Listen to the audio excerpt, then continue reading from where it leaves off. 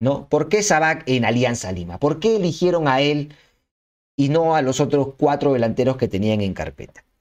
Eh, mencionan en Alianza, y esta es información, ¿no? Información, no es opinión, es información que he obtenido, que muchos se sorprendieron con los atributos físicos que tenía Pablo Sabac, eh, pero no en relación únicamente a los básicos, eh, que son pues altura, fuerza, eh, masa muscular, ¿no? Los que uno habitualmente cree que, que, son suficientes a veces para jugar al fútbol y para rendir. ¿no? Muchas veces se habla de hay que copiar a Ecuador, eh, sus futbolistas son fuertes, rápidos.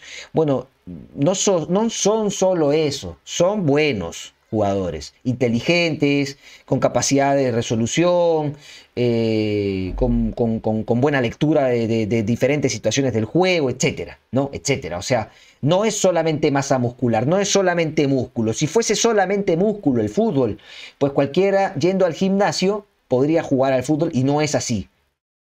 Y no es así. ¿no? Eh, entonces, más allá de estos atributos físicos básicos, ¿no? los que uno habitualmente observa en un jugador o en un atleta o en un deportista, sorprendió mucho que eh, tuviese una velocidad importante a pesar justamente de la altura y el peso que tenía Pablo Sabac. Eh, y lo que más sorprendió de Sabac eh, a la hora de elegirlo y a la hora de analizarlo fue que tiene una alta cantidad de repeticiones en cuanto, por ejemplo, a desmarques de ruptura. ¿No? ¿Qué son los desmarques de ruptura? Son aquellos desmarques, eh, hay, a ver, hay dos tipos de, bueno, hay un huevo de, tipo de desmarque, ¿ya? Pero normalmente los, los, los, dividen en dos y después salen muchas, muchas eh, opciones para cada uno. ¿no? La primera es el, desmarque de apoyo, que es aquel en el, que el delantero retrocede para entrar en juego y juega en primera o gira o hace lo que fuese. ¿no? Desmarque de apoyo, o sea, apoyo es retrocedo para poder jugar con el volante. Uno. El otro es un desmarque de ruptura.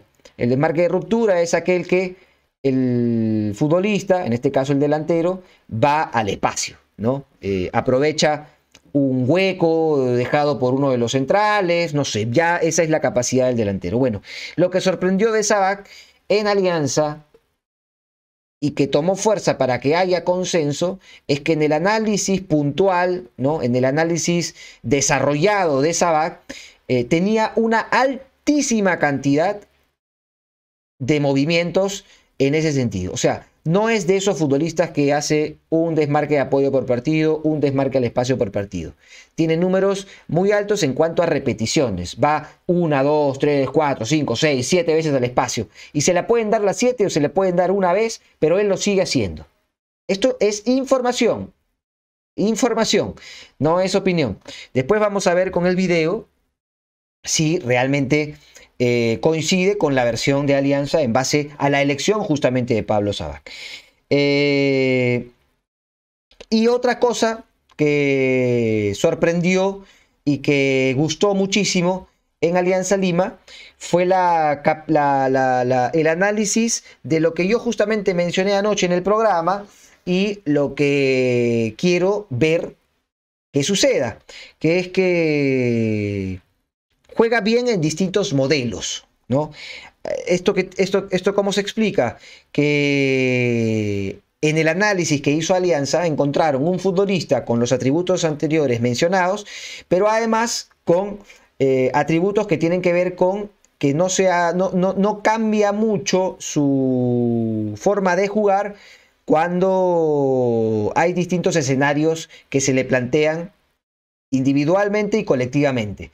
Individualmente sería eh, una, una, marca más férrea, ¿no? Eh, ayer Di Benedetto estuvo muy cerca y él, y él libró esa situación, supo cómo darle vuelta a esa situación.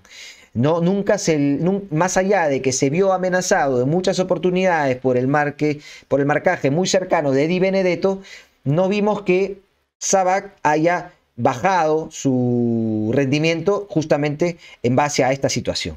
Entonces, lo que vieron en Alianza también fue que no solo sabe jugar de contragolpe, sino que sabe jugar dentro del área, que sabe tener paciencia, que puede jugar contra defensas mucho más, mejor compensadas o más compensadas, eh, defensas eh, como la ultranza, como la de Marruecos, por ejemplo. Entonces, él puede jugar aquí, Puede jugar contra defensas compensadas y funciona. Puede jugar de contragolpe y funciona. Puede jugar en dominios alternados y funciona. Tiene juego aéreo, sí.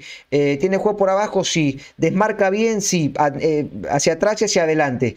Entonces, todo eso les gustó y, al final entendieron que era un delantero más completo que el resto y por eso eh, lo, lo, ficharon. Hay siempre un último punto que tiene que ver con, con las recomendaciones, ¿no? O sea, no solamente hay que verlo, sino eh, escuchar a personas de confianza,